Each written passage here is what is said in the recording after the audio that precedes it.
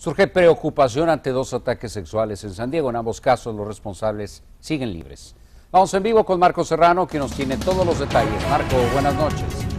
¿Qué tal Pedro? Muy buenas noches. Hablamos con los vecinos del área que nos narran lo ocurrido y también nos comparten su consternación. Ahí estaba tirado un bulto. De allí la, la pusieron en, en la ambulancia.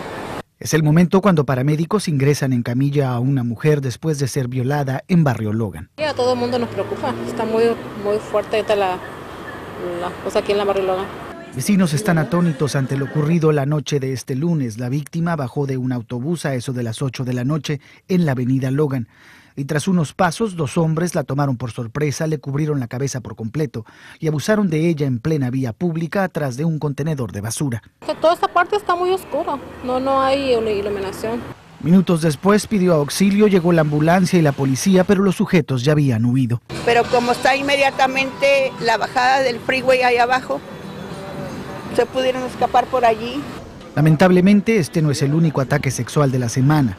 Un día antes, una adolescente, mientras esperaba el trolley en la parada de la avenida Euclid, fue ultrajada por un joven afroamericano. Afortunadamente, ella logró escapar y no pasó a mayores. Incidentes como este, sin embargo, hablan de la importancia, sin considerar lugar y hora, de que las mujeres en específico se mantengan alerta de sus alrededores, aunque muchas no lo tomen en cuenta. La verdad no, no tomo eso en cuenta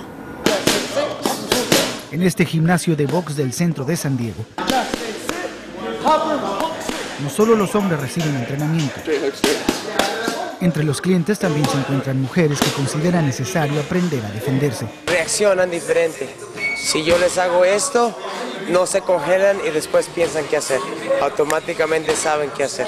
Para evitar ser el blanco de un ataque, autoridades recomiendan que camine siempre alerta y no con la mirada concentrada en el teléfono y otras distracciones. Si escucha música, lleve el volumen bajo y así podrá oír si alguien está a punto de abordarla.